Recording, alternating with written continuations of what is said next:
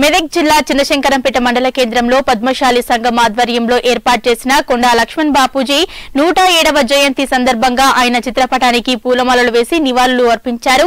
పద్మశాలి సంఘం జిల్లా అధ్యక్షులు జయరాములు. అనంతరం జిల్లా అధ్యక్షులు మాట్లాడుతూ కొండా లక్ష్మణ్ బాపూజీ స్వతంత్ర ఉద్యమంలో తెలంగాణ కోసం అహర్నిశలు పాటుపడుతూ ఎన్నో ఉన్నత పదవులు వచ్చినప్పుడు కూడా వాటిని వదిలిపెట్టి ఉద్యమ స్ఫూర్తిని నింపిన వ్యక్తి అని కొనియాడారు. ఈ కార్యక్రమంలో పద్మశాలి సంఘం జిల్లా అధ్యక్షులు జయరాములు పద్మశాలి సంఘం మండల అధ్యక్షులు శ్రీనివాస్ మరియు పట్టణ అధ్యక్షులు ఎర్రగంటి కృష్ణయ్య శ్రీనివాస్ చిట్యాల శ్రీహరి గుండు కిషన్ దిజి యాదగిరి తదితరులు పాల్గొన్నారు. మహానుభావుడు ఆయన ఒక పెద్ద పెద్ద పదవులను కూడా తెలంగాణ కోసం ధ్రువప్రాయంగా వదిలినటువంటి మహానుభావుడు. ఈయన తెలంగాణ రాష్ట్రానికే కాకుండా మరి పద్మశాలి వర్గానికి కూడా సేవ చేయాలనే ఉద్దేశంతో ముందుకొచ్చి మా నారాయణగూడలో పెద్ద పెద్ద భవనం కట్టడం కూడా జరిగింది.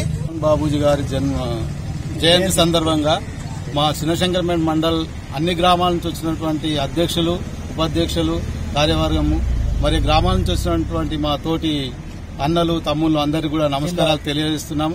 జిల్లా అధ్యక్షులు కూడా మా మేకల జయరాం సార్ కూడా వచ్చారు. సకాలంలో వచ్చి ఈ కార్యక్రమంలో అటెండ్ చేశాడు. ఈ దీనికి మేము కృతజ్ఞతలు తెలిపి తెలియజేస్తున్నాము కొండా లక్ష్మణ్ బాబూజీకి బాపూజీ గారి జయంతి సందర్భంగా చిన్నశంకరంపేట మండలంలో మా కుల బాంధవులు మరియు పక్క చుట్టుపక్కల గ్రామాల నుంచి వచ్చిన వారందరూ అధ్యక్షులు ఉపాధ్యక్షులు కార్యదర్శులు వారందరికీ చిన్నశంకరంపేట తరఫున నేను ధన్యవాదాలు.